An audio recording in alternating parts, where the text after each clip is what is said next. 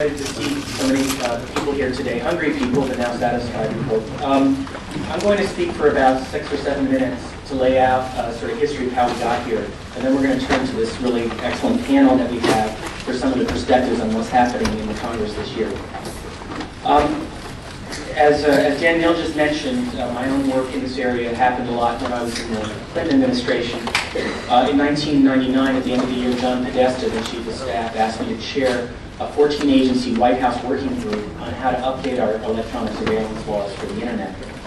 So we had, you know, what are called over three-letter agencies in the group, like the CIA and the FBI, the DIA, the NSA, and Justice and all.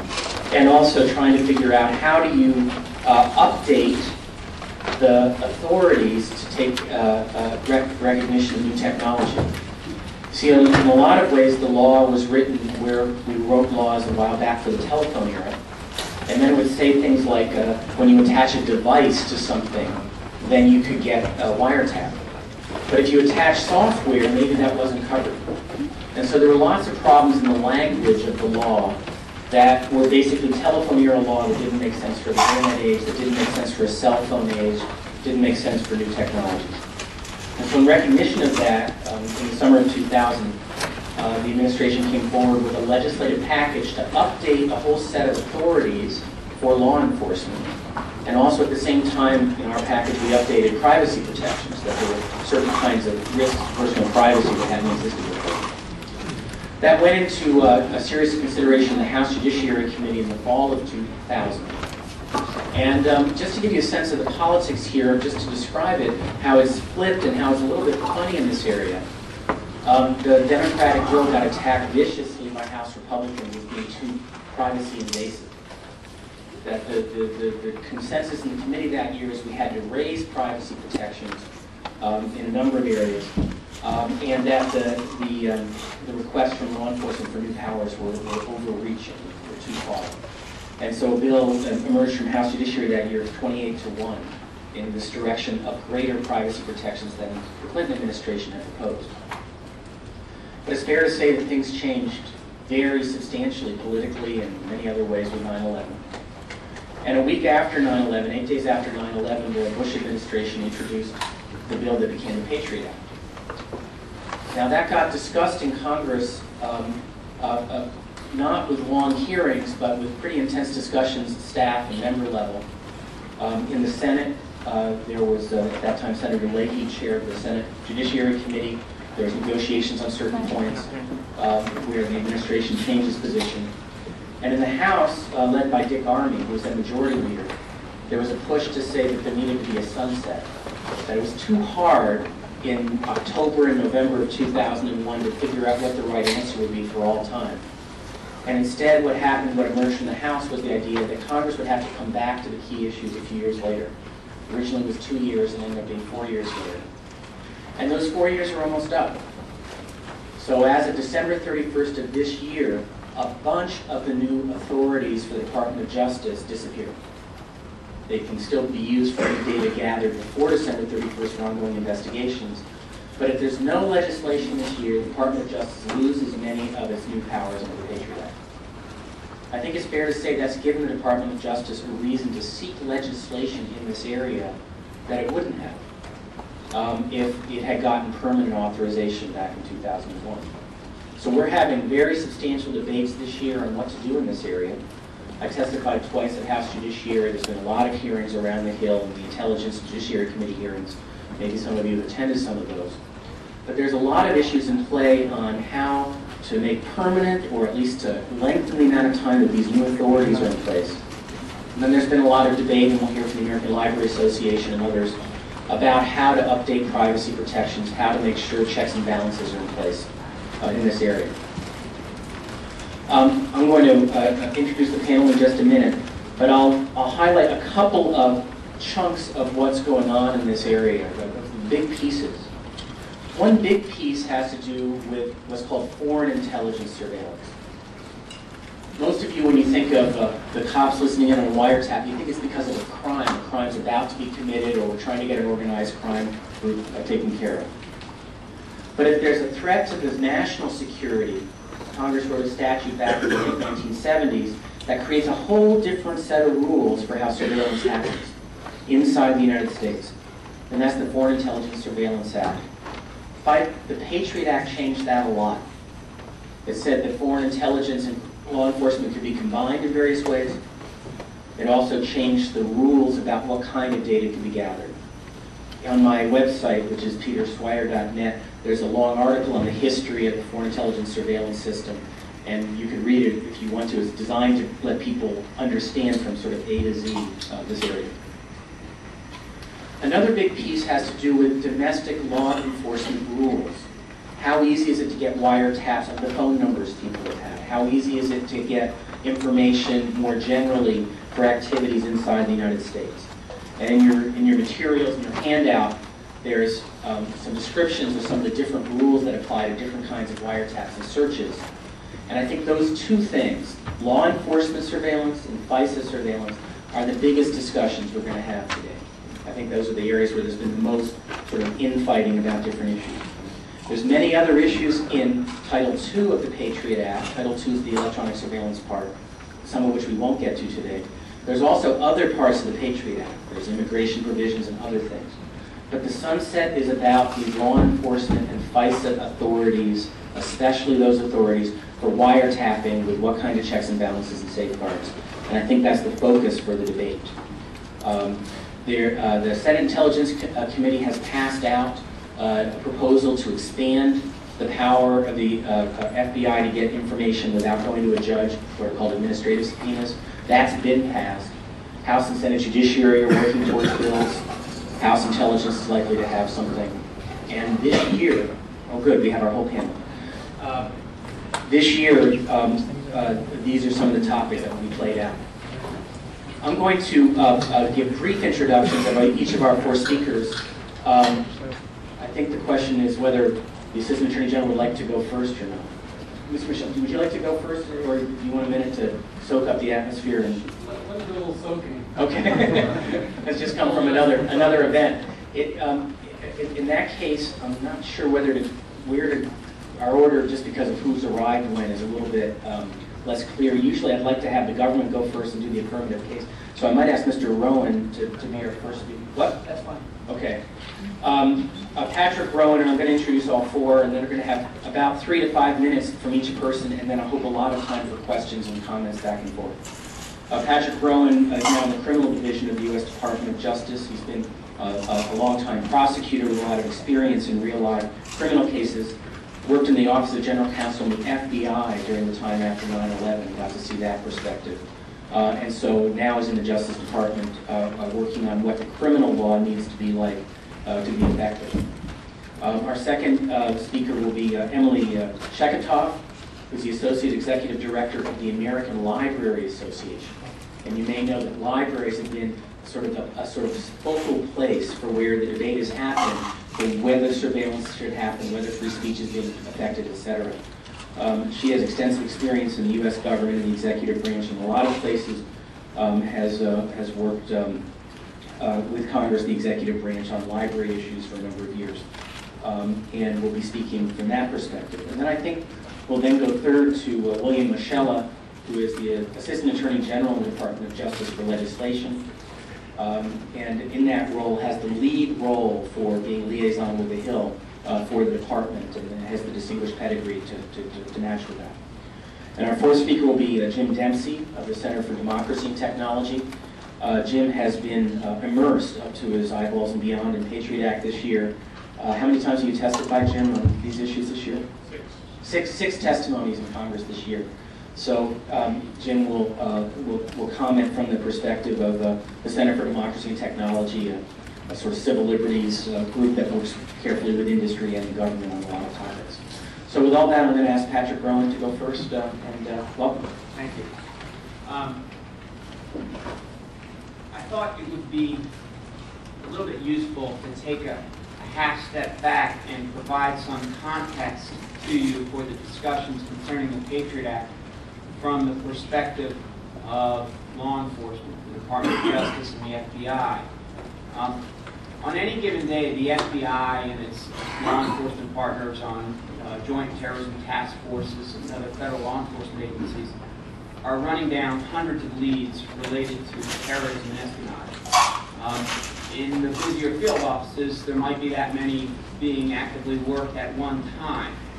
Um, So when we are discussing a provision of the Patriot Act in the abstract, I think my point, what I'd like to convey to you today is we need to keep in mind how that affects all those investigations going on out there in the country.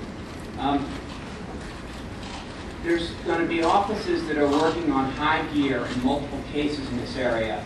And there's obviously great urgency associated with this. A terrorism case, that means it's a potential threat to our national security. And so the FBI and other agencies are going to try to run down every lead, run down every tip, and try to determine, first of all, is this something we should be spending our time on as an investigative matter, or can we quickly wash this out as being nothing? And, and more importantly, if it is something that we need to be looking at, what's the threat here? Who is this person? Who is this person working with? What might they be doing? Um, and we need to do that as quickly as possible because in some instances, what we might be working on is watching somebody who would be the next Moussaoui, somebody who is actively engaged in an operation, who is about to do something that we don't expect, and all of a sudden we've gone from, from surveilling a person as they go through their activities to trying to prevent a terrorist event. Um, so well, the provisions of the Patriot Act we look at as being tools, tools to get to the bottom of these investigations. And in some instances, they might be tools we use very frequently, like pen registers or wiretaps. And others, they might be tools we use rather less frequently, like, for example, the uh, Section 215 records provision.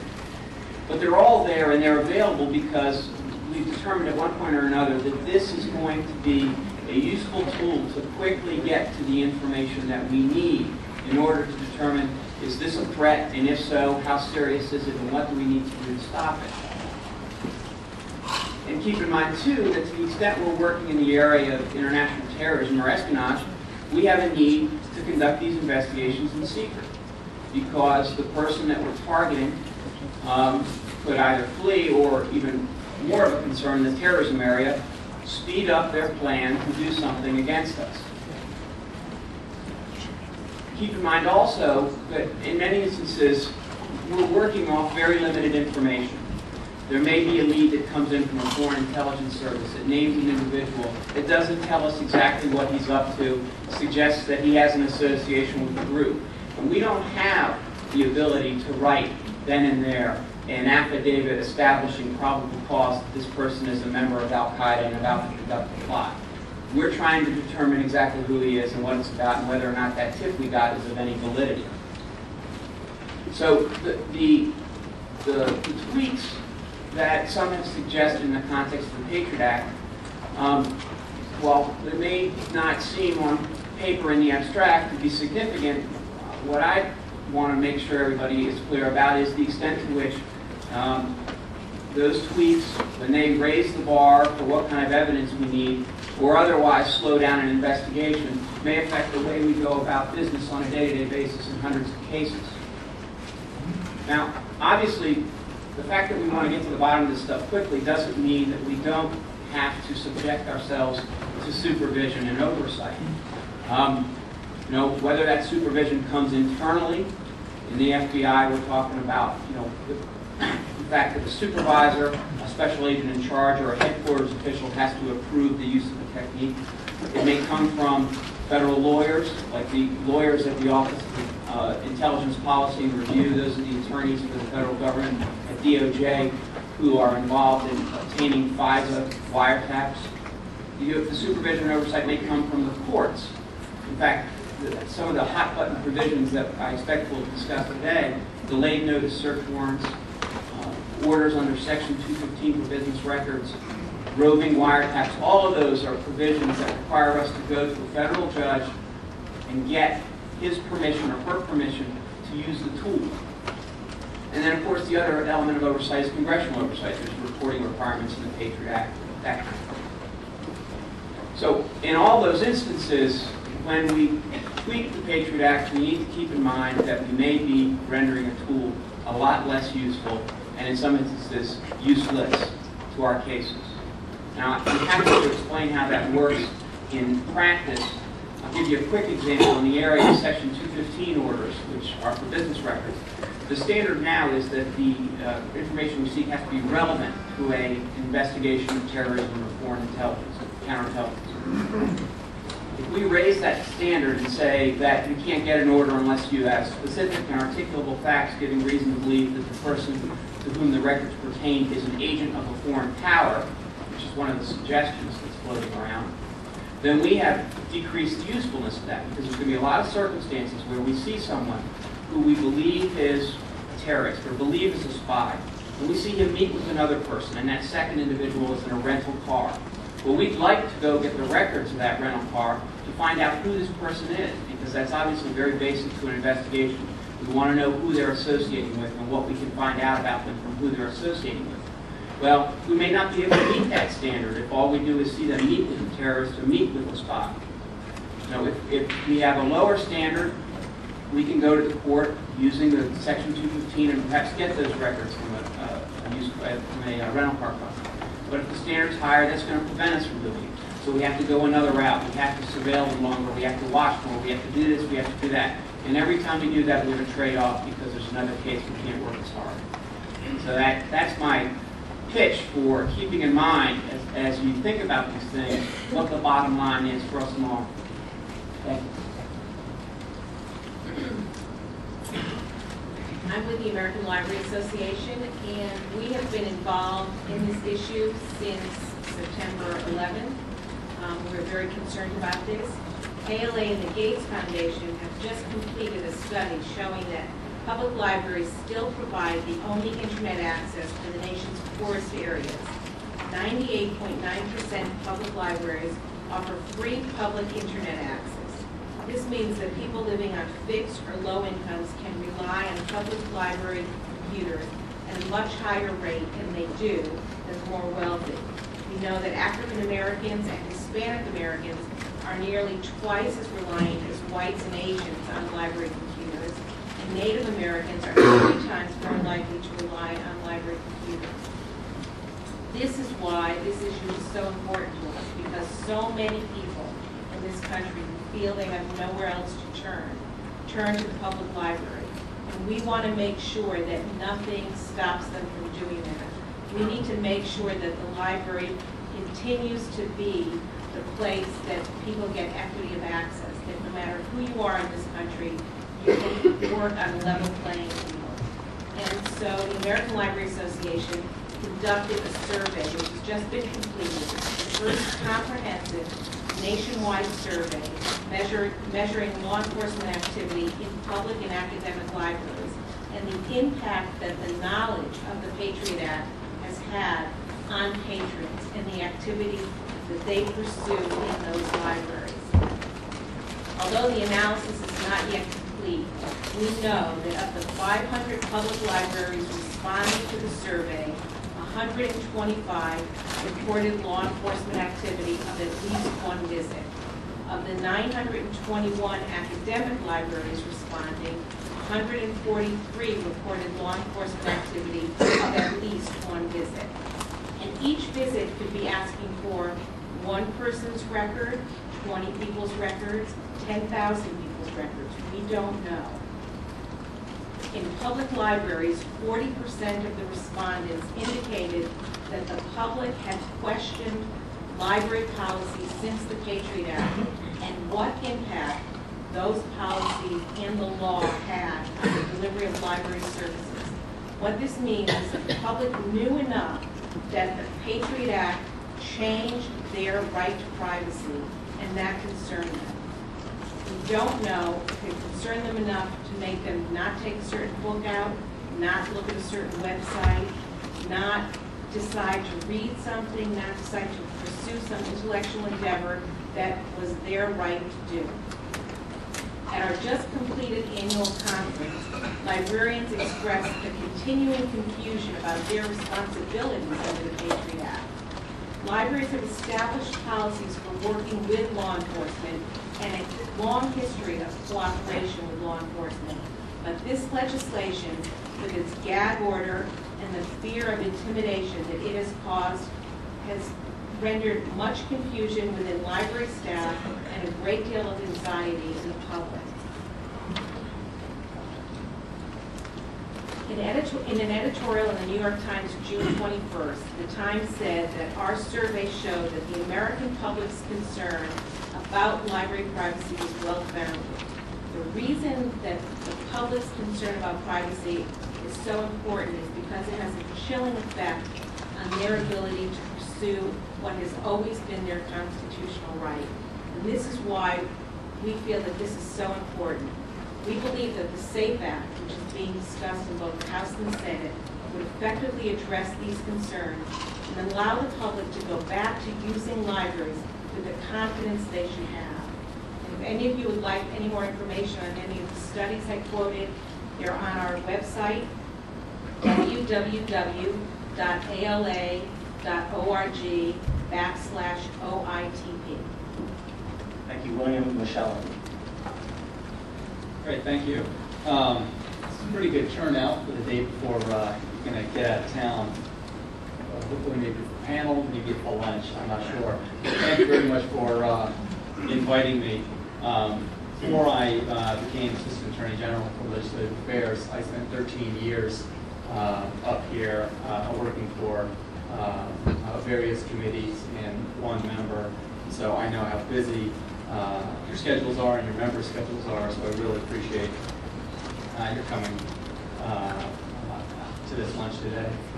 Um, The Justice Department has, no one, I I don't think, has matched Jim's um, staying power with regard to testifying. Um, I think we may have had one witness who testified three, maybe four times.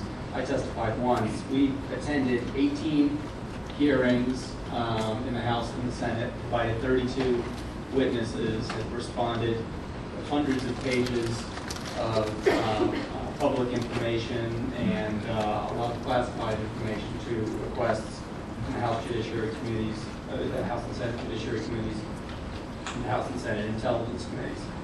Um, uh, I think we're at the uh, end of the beginning, that is to say, um, the hearing process, I believe, is over unless one of those committees brings another hearing on me.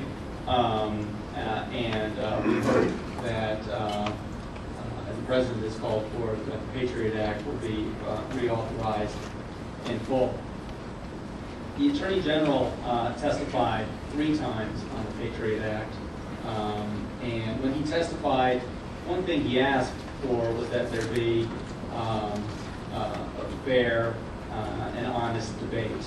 Uh, And we think that when you and your bosses, members of the public demand the facts um, and understand what the Patriot Act does, um, that you will understand that the Patriot Act um, was not uh, some revolutionary uh, piece of legislation, um, but that it was really a common sense uh, improvements to both the criminal law and the tools that uh, we use track spies and terrorists that uh, we need to engage uh, uh, the enemy, particularly Al-Qaeda and other terrorist groups, uh, on a daily basis. One thing that the Patriot Act did, which was revolutionary, and there is one thing, uh, is took down the so-called wall between intelligence and criminal investigators.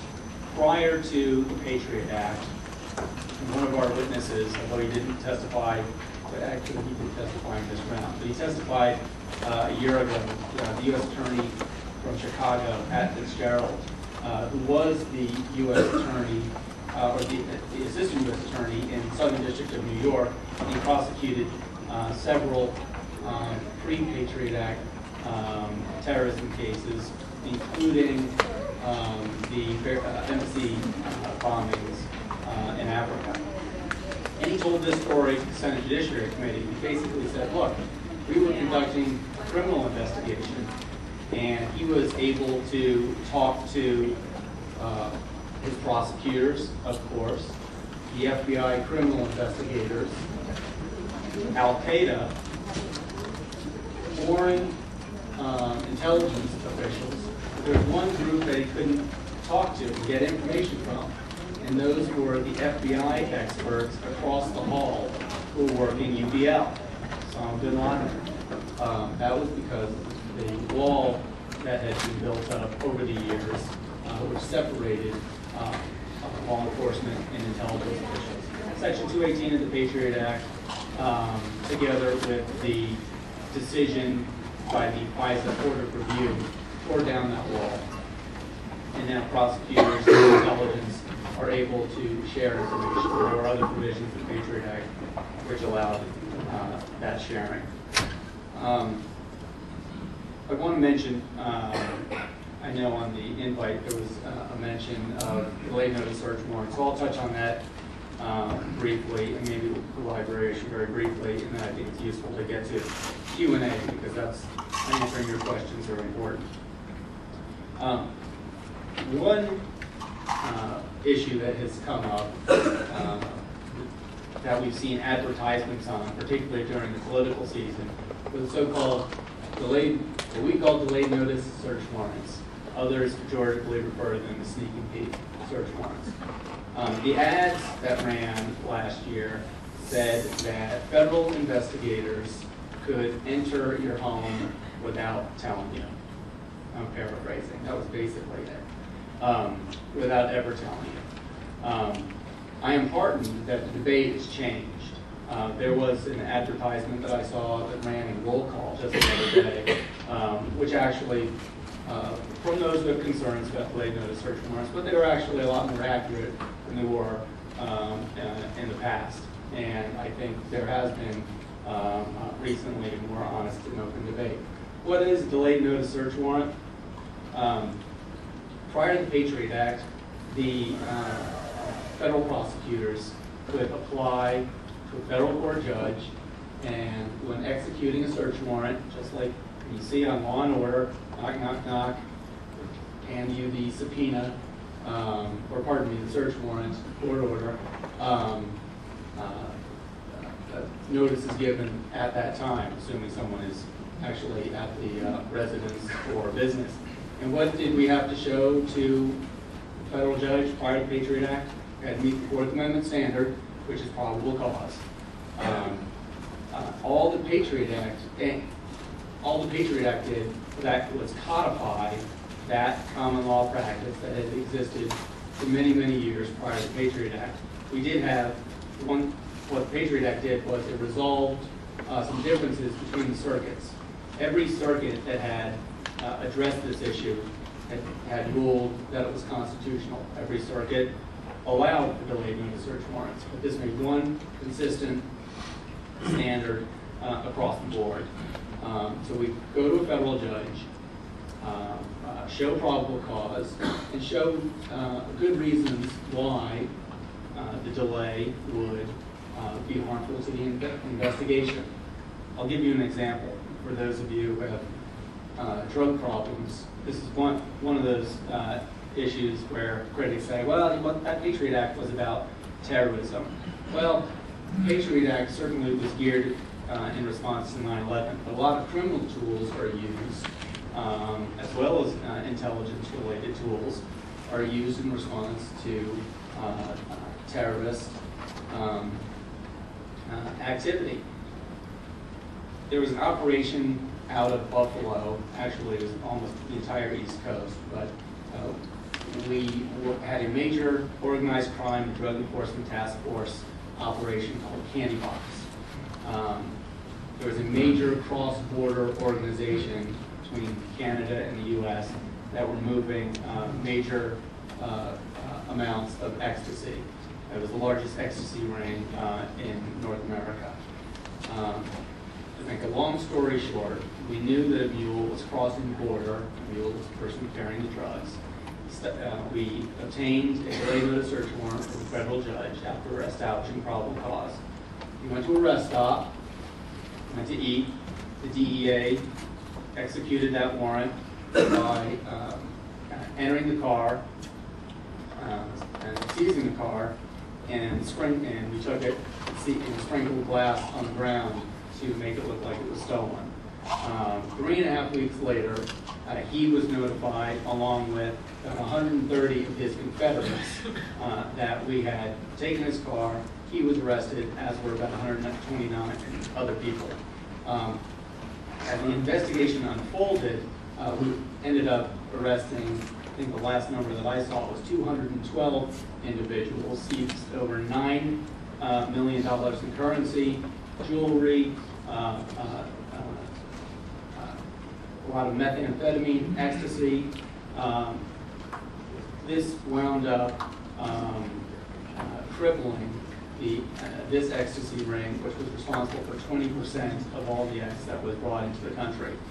Um, In the car, in a hidden compartment, were 30,000 MDMA tablets, ecstasy, and 10 pounds of a high-potency hydroponically grown uh, marijuana. So the reason for the delay was that we didn't jeopardize that investigation. The prosecutor a, has a Hobson's choice. Do I let the drugs walk and, and don't jeopardize the investigation, or seize the drugs so that it doesn't go on the streets, and, you know, ecstasy is going right to college and high school kids, um, uh, uh, or, uh, you know, so risk, um, the drugs going to the street or tipping that, tipping off the organization. So this is a, uh, an important tool which we are seeking, not subject to the sunset. One of the reasons why is that the Congress, when it established sunset, said, look, we're gonna put sunsets on sixteen provisions, those that we deem are new, and I was chief house negotiator of Patriot at the time, so I was, I'm very familiar with, uh, all the discussions, uh, that took place then, and, it- it's a critical tool that we're seeking to, uh, keep intact. Um, I won't address libraries, but I think we'll do that after that. Jim Dempsey, please. Thank you. Good afternoon. Uh, Peter, thanks for the uh, introduction. Uh, Thanks to the uh, advisory committee of Peter and caucus for sponsoring this. I think there are a couple of uh, points to recognize here. Um, There are about 150 provisions in the Patriot Act. Uh, 16 of them sunset. Of the 16 sunset, uh, depending upon how you count and how strict you are, at least uh, seven are non-controversial. They're just not subject to any debate. The other nine, to a greater or lesser degree, are controversial. Now, and and as um, Will noted, some of the more controversial provisions, like the peek provision, are not subject to the sunset. But even there, there is a handful of, uh, maybe four, uh, non-sunsetting provisions that are uh, controversial. Uh, peek provision, the uh, use of so-called national security letters, um, provision defining uh, domestic terrorism in an overbroad way. But of all of the provisions, sunsetting or non-sunsetting, not a single one is going to sunset at the end of this year, period. The debate is not over whether any of these tools, as Patrick Rowan referred to them, and they are tools, not a single one of these tools will be lost by the government. There's not a single category of records that are off limit to the government. I think even the American Library Association will say that in certain cases, library records can be obtained by the government. The debate now, finally, is over what it should have been over in 2001, and that is the standards, the checks and balances, the criteria for using these powers, which in a democratic society is what we always uh, worry about. It's not very, very few powers we deny the government absolutely. But it's a question of the standards. Now, the Patriot Act was put forward uh, about a week after uh, the uh, 9/11 attacks. Uh, Clearly, you cannot come up, this was before really we had fully analyzed what had happened. It wasn't until over a year after that the 9/11 uh, Senate joint hearings began. Two or three years after that, the 9/11 Commission reported, only uh, earlier this year, that the WMD Commission reported in terms of what was wrong with our system. So the Patriot Act was adopted before we even knew what was wrong. Uh, And since then, uh, people have repeatedly found, and I think all of those um, uh, studies found, that there was very little in the legal authorities available to the government that was linked to 9/11 happening. And that there is very little in the Patriot Act that you can point to and say, if we had had this power, we would have prevented 9/11. In fact, the one strictly speaking, uh, 9/11 fix, the so-called Moussaoui fix, isn't in the Patriot Act at all. The lone wolf provision was in the uh, Intel authorization legislation last year. Now, but the- again, these are, at core, each of these issues has a legitimate um, function. And in terms of the wall, the wall is down, legally speaking. Although, just yesterday, the president made further executive orders trying to get the wall down as a practical matter. The wall, as a practical matter, was always higher and stronger than it was as a legal matter. But as a legal matter, the wall is down and nobody's proposing re-erecting it. Sharing of information between intelligence and law enforcement agencies, and between law enforcement agencies and intelligence agencies, and between the criminal investigators and the intelligence agents of the FBI is fully permitted legally. What we're talking about are some of these investigative standards, and as Peter said, they fall roughly into two categories. The Foreign Intelligence Act, uh, Foreign Intelligence Surveillance Act changes, and the uh, changes to underlying criminal law. The changes to the criminal law, as others have alluded to, are not uh, directly responsive to terrorism. These are changes that were made across the board. In fact, when the Justice Department came forward after 9/11 and asked, as it had repeatedly, for a uh, sneak and peek provision, which had been rejected by Congress and by administrations and Congresses prior to 9/11, when the um, Justice Department came forward once again and put forward its sneak and peek provision, one of the proposals was, okay, we have a real crisis here, clearly, terrorism is a genuine threat, let's limit this to terrorism cases. Sounded reasonable. Justice Department said, uh-uh, we want this for every single federal crime in the books. We want this for student loan cases. We want this for uh, every tax evasion cases. And they got it. Um, And they said, and they say now, that they were codifying the law. Well, in fact, only two circuits had, uh, of 11, how many circuits are there now? More than, more than when I graduated from law school. Um, But uh, two or three of the 11 or 12 circuits had uh, ruled on sneak peeks. They had done so actually before the Supreme Court ruled, as it did in a- an opinion by Justice Thomas, that notice is actually part of the constitutional um, Fourth Amendment inquiry.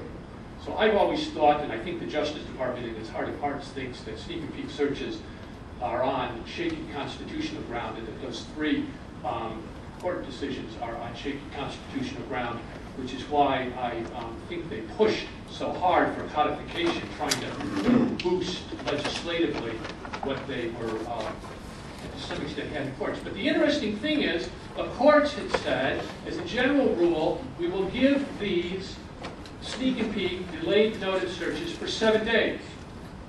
Get in there, get the drugs, get the evidence.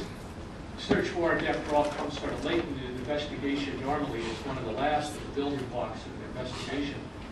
Seven days, come back to us if you need more time, and we'll give you seven more days or whatever. The sneak and peek provision in the Patriot Act has no time limit. Now, a single judge, by the way, has denied a single sneak request by the government since the legislation was enacted. The vast majority of them have been non-terrorism cases, the vast majority have been drug cases. probably it's fair to say the vast majority of search warrants by the Justice Department are drug cases. But every judge has approved every request. Six or seven judges have approved indefinite requests. We went from seven days as the rule, which we were codifying as the Justice Department, to unlimited delay of notice. One court, one notice went on, went on for 400 plus days. I don't think that when your bosses were talking about emergencies, observing the integrity of investigation, and making sure that witnesses didn't flee, that they thought that they were voting for 400 plus or unlimited delay. So the critics of the Patriot Act had come forward and said, let's put a time limit on this. Let's start with seven days or 14 days. Let's put a limit in there. You can always come back to the judge and say, I need additional time. And that's what we're talking about when we're talking about the checks and balances and the role of the judges. And that's where the locus of the debate is. Somewhere between seven days and unlimited. Not losing this tool, not crippling uh, the ability of the Justice Department to carry out its responsibilities. Section 215, the so-called business records or library records Let's, let's hold on that because we're gonna, I'm gonna come to Good. that in question, sort of moderated part. Good. Um, The, the, the format I was asked to follow and what the caucus, uh, uh, the Internet caucus does, have relatively brief opening statements. I'm now going to come back to a couple of the key issues and get different people on the same issues so we can clarify those. And then we'll have, I think, the better part of half an hour for discussion, questions from, from whole group. Um, we were just on delayed notice, Let, let's stick there for a minute. Um, so we've, we've heard Jim describe uh, the pre-9/11 circuit court decisions uh, in a certain way. And we've also heard uh, Attorney, Assistant Attorney General Moschella describe uh, codification of pre-existing law. Uh, I'd like to go back to the Department of Justice perhaps, and perhaps you have some comment back to what Jim's saying um, on, on how to think about um, longer, shorter, is it codification of what the practice was before, or is this an expansion? How do, how do we think about that? Well, the, the circuits were split. Um, it's not accurate to say that it was seven days all around the country. It's accurate to say that in the Ninth Circuit, um, the Ninth Circuit had decided that seven days was presumptively reasonable. Um, uh, there was a presumption built in Ninth Circuit's opinion. The Fourth Circuit and the Second Circuit, which had also ruled on this issue, had a little bit uh, different standards. I, um, my recollection is that the Fourth Circuit uh, did not have any time limit and had a reasonableness test.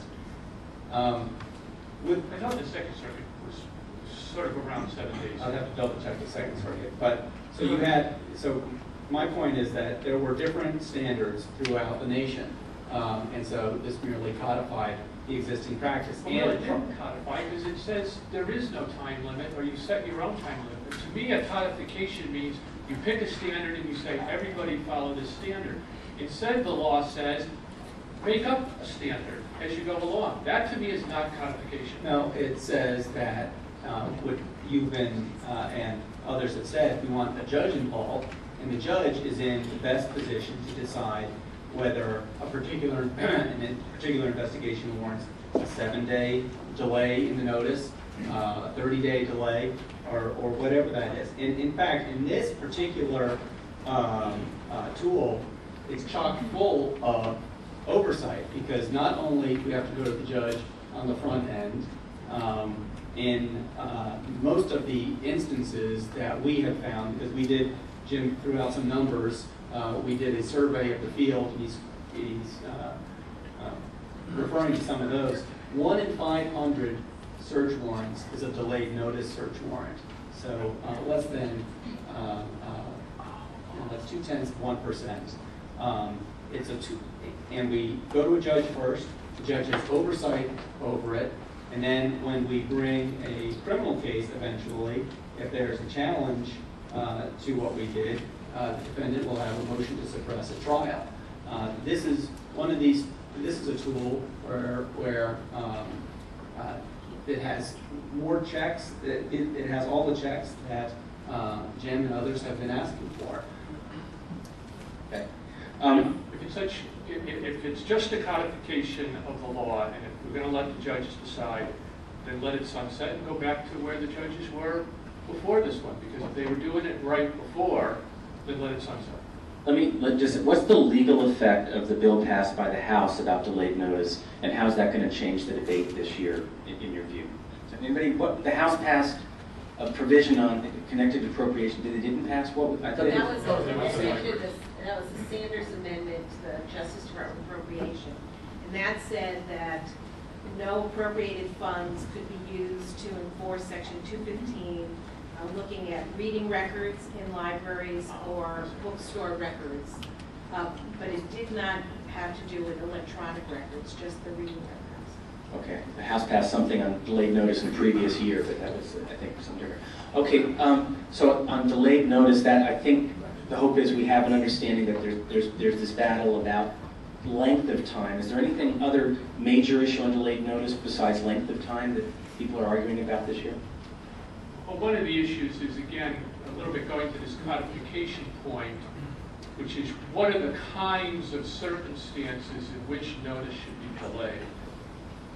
And uh, I think there are some on which there's uh, widespread agreement. Um, If it would uh, endanger somebody, a witness, informant, or uh, endanger law enforcement officers undercover, whatever. If it would, uh, or if there's a pending crisis, if it would result in the destruction of evidence, or result in flight from prosecution, uh, result in intimidation of witnesses, those are all legitimate justifications. But again, Congress didn't quite think this through. Instead, it referenced for sneak and peek searches another set of adverse consequences which were developed for access to stored email and just said, well, we'll take those wholesale without really looking at whether they uh, match the cases or anything for going into homes and uh, offices. And there's a catch-all provision that says you can get a sneak and peek search if there's, if the judge finds that there's uh, reason to believe that it might, um, which is sort of a low standard, not the probable cause standard the underlying warrant, reason to believe that it may um, jeopardize the investigation or unduly delay the trial. And I really don't understand what the unduly delay the trial is. Um, But there is concern that this catch-all provision is too broad. Sure. Um, The, um, it's seriously jeopardized or unduly delayed. We don't believe it to be a catch-all.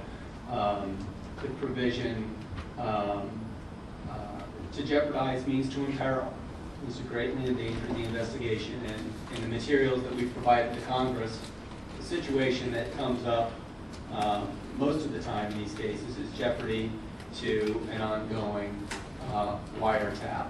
There was a case out of the Western District of Pennsylvania in which um, another OCDET, a drug case, um, was investigating a major heroin ring in western Pennsylvania.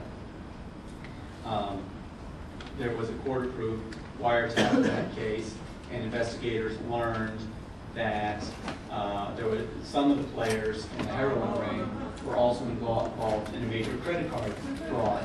Well, uh, and, and learned that a FedEx package, fraudulent credit cards and other materials was being sent. Um, Investigators went to the judge, established probable cause based on the wire, got permission to delay the notice, intercepted credit cards, and took down, eventually took down both rings. Again, the dilemma here is that the, um, uh, let the contraband walk uh, or tip off uh, that major, uh, that major group. The DEA reported to us that the number of heroin deaths in Allegheny County uh, decreased I think the numbers were 146 in 2002. Uh, Don't quote me here, because these numbers are in materials we sent to the committee, to 46 in 2003 2004. So they went down um, about 100 deaths in one and a half years. This is a provision that saves lives, it's critically important, and we believe that it has a federal judge, not the executive branch, not the prosecutor, that's the real prosecutor at this table, that the federal judge is in the best case, best position to determine whether or not our request is a reasonable one. Let- Let's turn to section 215, uh, one of the other hottest issues this year, the records searches related to FISA searches. Uh, Patrick Rowan, uh, I'll try to get this accurate and correct me, made a point that today the law is, it should be relevant to an ongoing uh, foreign intelligence investigation. And there's proposals, including the SAFE Act, to ramp that requirement up to, there needs to be specific and articulable facts that the individual whose records are being accessed is an agent of a foreign power.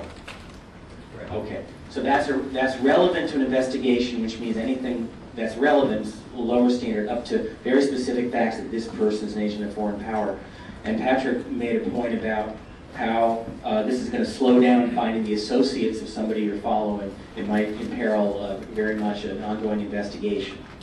So with that as a sort of explanation for the current version of 215, maybe have either Emily or Jim explain critiques or reasons why you've supported this stricter version that maybe would get in the way of the investigation. Well, 48 states in the District of Columbia have confidentiality laws for library records. There is a higher level of privacy accorded library records than car rental records, hotel records, what kind of refrigerator you buy. Two states that don't have um, a state law have a prevailing attorney general's opinion. And the reason they have that, the reason library records are treated differently than car rental records is that judges recognize the relationship to the First Amendment, that to have free speech in this country, you must have the freedom to go about your intellectual pursuits, that there is no link between the book that you read and the action that you are going to take.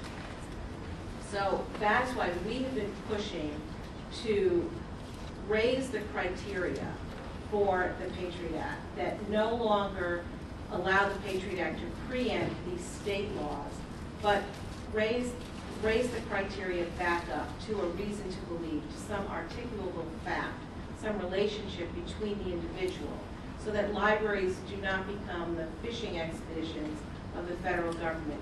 And the reason that this has become so controversial, we believe, is that everybody understands, the public understands, you don't have to be a lawyer to know that you don't want the federal government snooping in your reading records.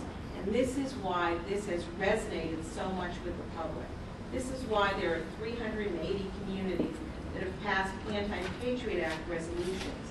So let's get the public back behind a lot of what the Justice Department is trying to do. Let's eliminate this. Let's raise the standard back up and allow there to be some criteria so that reading records are no longer uh, able to be a fishing expedition. And let's have some transparency in the reports that the Justice Department makes to Congress. Now, all their reports about what they're doing in libraries are made in secret. We have no idea what the Justice Department is doing, which is why we did the survey that we did. Let's have the Justice Department report aggregate facts. They don't have to report specifics about the investigation, but what kind of materials are they asking for from libraries, and how many times are they going to libraries? If they make these reports in a public way, then terrorists are not going to know, well, they're going to the Cleveland Public Library and looking at email. If you make ag- aggregate reports without specifying any geographic location, you can keep doing your investigations without the fear that anything will be discovered. Peter, What- I I- I'm going to come back to you, I'm- I'd like to get on libraries from the Department of Justice, and then the broader 215 have Jim. uh, So on- on this library issue, what about a carve-out for reading materials because of First Amendment concerns? Let me just make it clear one thing. If, if by carve out for reading materials, um, you're talking about something like the Sanders amendment, let me just, um, lay out to you one hypothetical, which is not too, um, distant from the kind of things we encounter. If we were to obtain from. you hear, is he speaking into the mic okay. If we were to obtain from a foreign intelligence service um, some materials that they recovered from an Al-Qaeda safe house, they said, look, we're an intelligence service, it's in the way our country works, we can't let everybody know that you, that we're helping you in your fight against Al-Qaeda because it's not a popular cause in our country. But nonetheless, here's some information, you can never use in court, but here's what we got in a safe house. And it's a, it's a library book from the District of Columbia Public Library on the construction of the, of the DC Metro system. It would be um, the first and most logical step in that investigation, to go to that library and try to obtain the record of who got that book out. And we can't use the grand jury tool if this uh, intelligence service has limited our use of the um, uh, uh, material. So we need to go in a way that we can do this in a classified setting, and that means the FISA, and that means the business record under section 215. Now, we could meet the current standard, I think, relevant to a, a terrorism investigation. And, and I would argue that would be an entirely logical thing, to go to that library with that court order from a judge saying, produce to us the records of who it was that got this book out. Um, if we were to have a carve out that says you can't do that, I, I don't, I don't quite understand what the purpose of that is. Um, there's, there's obviously sensitivities associated with libraries. I think Will can tell you about the use or non-use of the provision with respect to libraries. But to me, that just is, is, a, is an entirely logical and reasonable step that we would want to be able to take using the current standard. Um, One issue then is whether library records, reading materials should be different from other business records.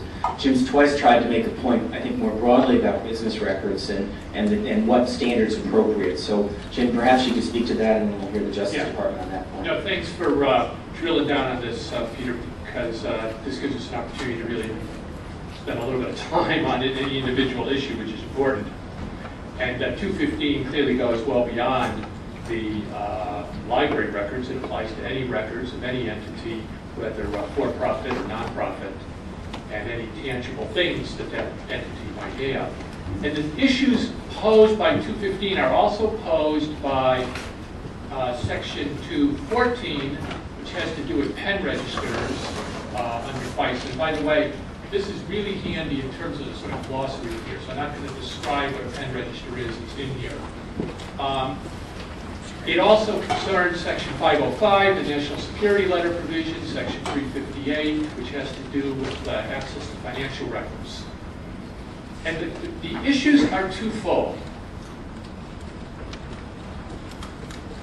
Does the government have to say to the judge, in the 215 context, what is the factual basis for its request? And secondly, does the government have to have some particularity, some specific focus on an individual or a group of individuals, or a book, or a account number, a telephone number? Does there have to be some particularity to its request? And where I depart, and by the way, I agree entirely here, and I depart from my, uh, some of my civil liberties colleagues on this. I agree with the Justice Department that the agent of a foreign power standard, which had been the standard for pen registers, for access to records, for national security letters, for access to financial records, the agent of a foreign power standard, for the reasons that Patrick Rowan explained, is too narrow. Because sometimes you're not interested in the suspected, a suspected terrorist is a suspected agent of a foreign power. Al-Qaeda is considered a foreign power. They're not a country, but they're a foreign power under the definitions of FISA. Hamas, Hezbollah, PFLP, PLO, um, uh, Islamic Jihad are all considered foreign powers in this discussion. And their members are considered agents of foreign powers. And their suspected members are covered by these laws. The, you're not necessarily looking for the suspected member of the terrorist group. You're looking for the guy who rented the car that he's driving in. You're looking for the person who rented the book. Or you're not sure if he's an agent of foreign power, although you found the book in a terrorist camp or whatever. But you're looking for somebody. As Patrick has said, you, the first thing you want to know when you see the, the known terrorist in the car with somebody else is, who's this other guy? Is he an agent foreign power? You don't know that yet. You're trying to find out first who he is. Have we ever heard of him before? Is his name in our indices somewhere? Does he come up somewhere else? You got a phone number that the terrorist called. You don't know whether he was calling a colleague or his mother. But you want to find out who is this person. But you got somebody in mind, you got some particularity to it. The problem with 215 is it eliminated any requirement to say anything to the judge about why the records are needed, why they're relevant. And it eliminated, by its language, any need to have a particular person in mind. Now, I think that the Justice Department and the FBI do have, always, a specific person or a group of persons in mind. They may not know their name, that's what they may be trying to find out, but they have some specificity. What we're saying is, require that. Because as the law now stands, they don't have to go to the car rental company and say, we saw, give us the records of, of this particular car. They can go to the car rental company and say, give us your entire database for the last three years. It's relevant to a terrorism investigation. And they don't have to tell the judge when they get that order how it's relevant, why it's relevant. In all the cases that Patrick has mentioned, they would meet what I think is an appropriate standard. They've got some factual basis. Judge, we got a book, we seized it, or we seized in a terrorist camp, we think it, we can it help us find a terrorist and learn more about him. Oh, fine, okay, now I know what you're doing. Go to that library and ask for that, the list of who took out that book, not the list of who took out every book in the library. Okay. You see- Well, let's ask for the the last person, because if they possess the Well, maybe book. that too, right, yeah, good point.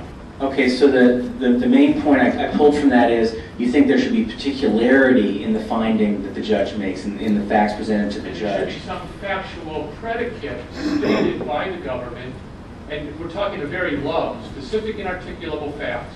We saw him sitting in a car with a terrorist. That's specific and it's articulable. That's all it takes. Okay, William Moschella?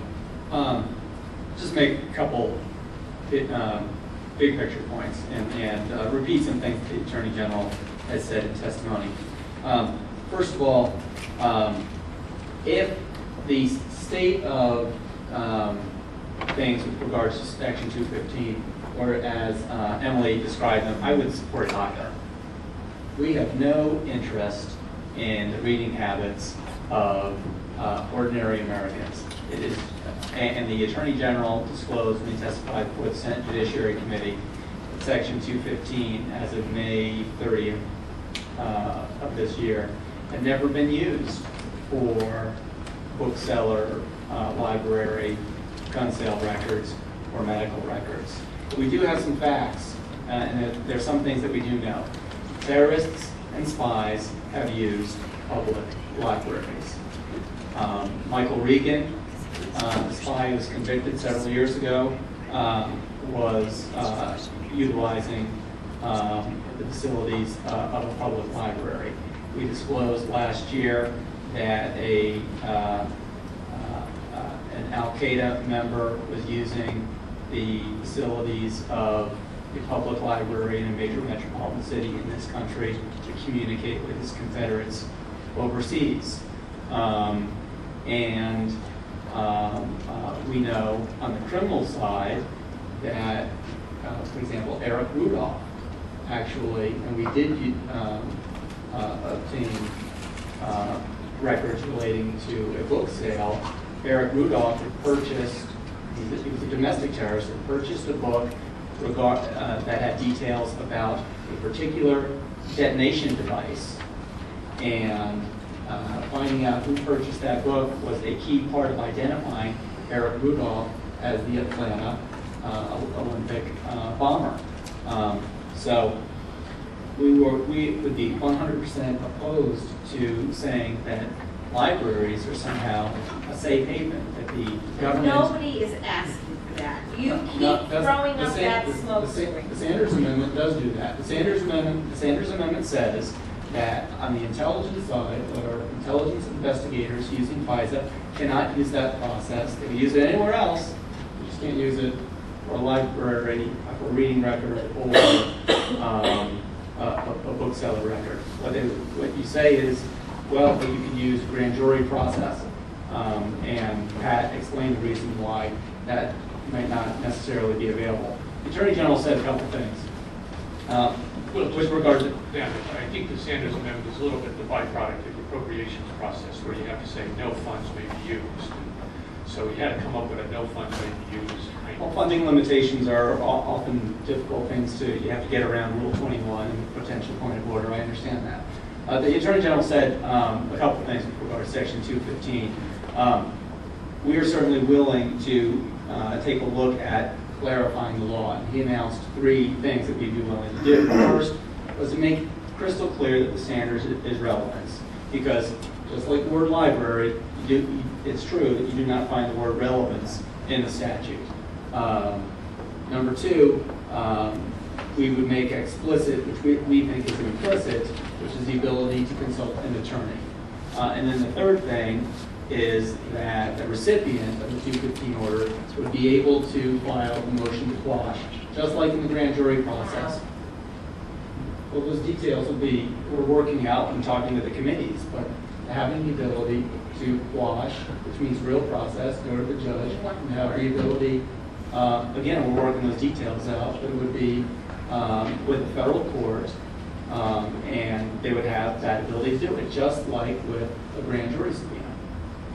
Well, we have the ability to quash in a grand jury subpoena. You saw evidence of that in Washington State. Um, But private citizens have no jurisdiction to go to the FISA court.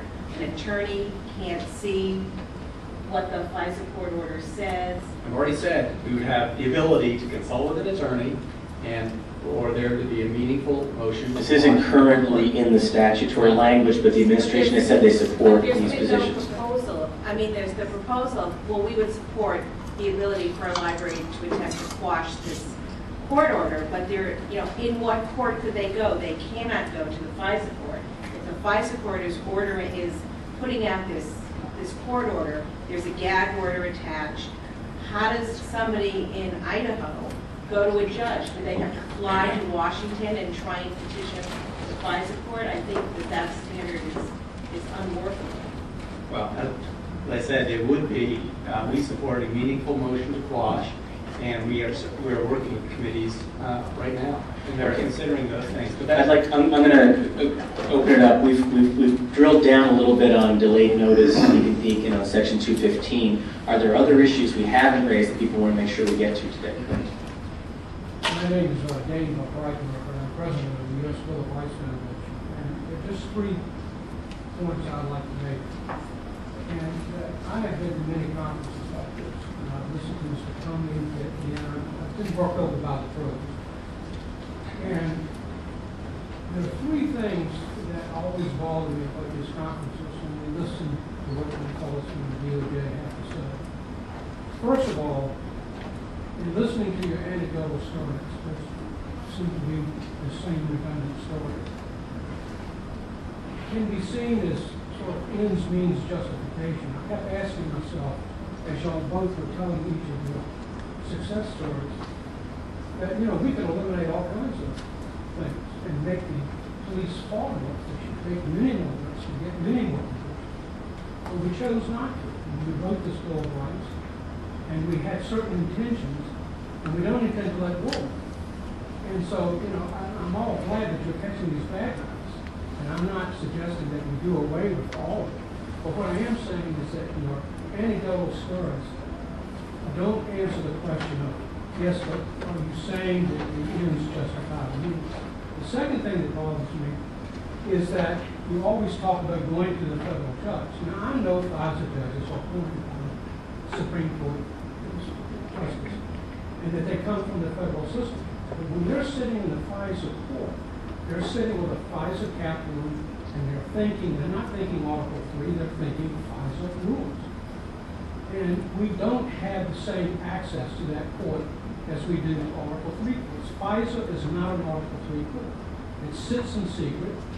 It, you can't challenge, the defendant's attorney can't do that. And, but y'all, it's, it's the omission, is that you say, oh, we go to a federal judge, oh, we federal judge this, federal judge this. And I've even seen them interchange it, they'll talk about, when, you know, an Article Three judge in the same breath that they talk about a FISA judge. And the other one is this, this wall that y'all talk about. Turned out, from my understanding, to some degree, or greater that that wall was a misinterpretation of the law, that they always had the ability to share the information back and forth, and it came out after 9/11, I mean, it might have taken 9/11 to bring it out, but it was more of a discovery than was it a rule change.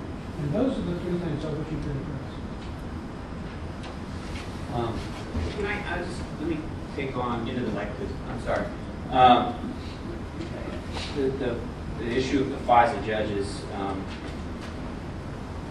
obviously they are our three judges, and I think the important thing about that is that they have lifetime tenure. If they decide that they don't like what the government is asking them to sign, they can say no and not suffer any consequence from that.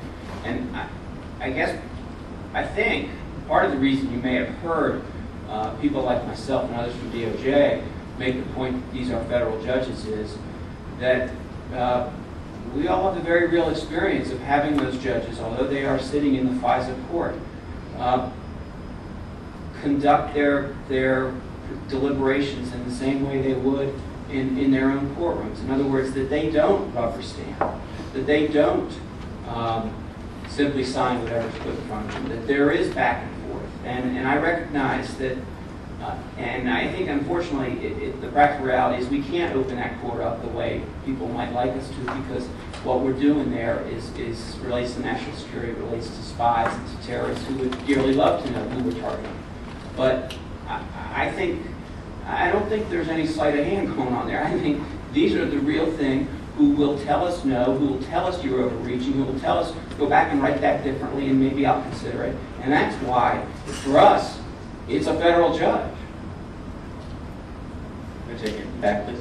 Yeah, and I'll to say my name is Sam. I work for a, a very conservative Republican who originally supported the Patriot Act. Not to suggest that he's not now, but I know that within the office and within a lot of other conservatives' office, there's a lot of concern over certain aspects of the Patriot Act. And I would say that, I start by saying I'm, I'm fully aware of what's at stake and what it is you're doing. Warren Buffett has said that, you know, and he's one of the largest insurers in the world, saying there'll probably be a nuclear blast go off in the United States within 50 years. But I would say that I, I have a lot of concerns about what's in the Patriot Act, namely because we now know that what resulted ultimately in the 9/11 attacks were absurd, you know, oversight, um, and not actually these details. I don't know how book records would have somehow resulted in preventing the 9/11 attacks. Um, and beyond that, what about? I've heard that. Can I just, uh, let me just Please. address that real quickly. Um, You know, we've never had a dirty bomb go off in the country. And I can't tell you every way to prevent that, but to say that um, because a a library record may not have been the thing that turned open the, uh, opened up the 9/11 commission, uh, the 9/11 uh, attacks, um, certainly is not a reason to take away uh, the ability for terrorism investigators to, to utilize that tool. And let me just say, um, the other thing, every commission that has been, 9/11 Commission, WMD Commission, and the rest, have all talked about a number of the provisions uh, in the Patriot Act, particularly the one taking down the wall, Jim has uh, addressed that. And that, that was um, uh, a very real impediment to the sharing of information. There could have been other things, technology and the rest. To say that the Patriot Act has not helped, uh, or nothing in there um, would have, I mean, I can't say from metaphysical certitude that anything in there would prevent 9/11, but it is certainly, absolutely, positively helped afterwards. Well, Two other things. One is that it bothers me that I've never heard the Justice Department say, we don't need this power. And I think a responsible agent of the government should be in the position of doing that. And the Justice Department is always willing to take more, but not necessarily to give back. And I think that ultimately that's a, what concerns a lot of people, which is that we, and that's why the sunset provision was put in there, because it's like, you will take whatever you're given and you'll use it because that's your job. But ultimately, there's a balance there that has to be considered. Going back, I think a little bit what he was saying about to what extent do the, do the, do the means justify the ends? I mean, yes, we could make law enforcement a lot more easier, you know, if you, if you're allowed to peek through blinds, the houses, but the court has said no, there has to be a reasonable ex- expectation of privacy. So there are consequences are there. And then, let me ask you this, I know that NSA has released recently that on several occasions they have disclosed that, um, or rather they have provided to the Justice Department or to the FBI the fact that um, communications that were between an American citizen who originated in the United States and were with a foreign entity. Now, under the NSA's charter, I don't believe they're allowed to do any electronic surveillance of American citizens. And I was wondering if you could comment on that. And really, I have to Jim's say- knowledgeable on, on I law have to say that uh, NSA is a complicated target. Yeah. Uh, Subject, I'm happy to talk with you about it afterwards, but I just don't think we, I mean, it would take us another hour But and a half. have they in fact provided, They can appropriately and legally provide, I think what they're providing is sometimes mentions of U.S. persons in communications, both legs of which are overseas. They also can intercept communications, one of which legs in the United States, if the interception occurs outside the United States. Mr. Moschella, how do you feel about the NSA's role in this mission? Uh, I don't know about the NSA piece, but if we need someone to come up and talk to your boss, I'd say call up the NSA. Let me instead, Peter, if I could, make a a We have 30 seconds. Yes. We've heard a little bit today of the don't even tweak it because if you do, you will cripple our ability to fight terrorism theme, which to me has been one of the most disturbing themes in the, in the, in the nine, in the, in the sort of sunset debate don't change anything. Uh, John Podesta, former Chief of Staff, President Clinton, and Rich Falkenrath, former uh, Deputy Homeland Security Advisor to uh, George W. Bush, uh, pulled together a bipartisan working group of uh, eight former uh, Democratic government, both Hill and executive branch people, and eight former Republican prosecutors and Justice Department and White House counsel office staff. And we agreed, the liberal, I was a part of it, the so-called liberals and the so-called conservatives agreed.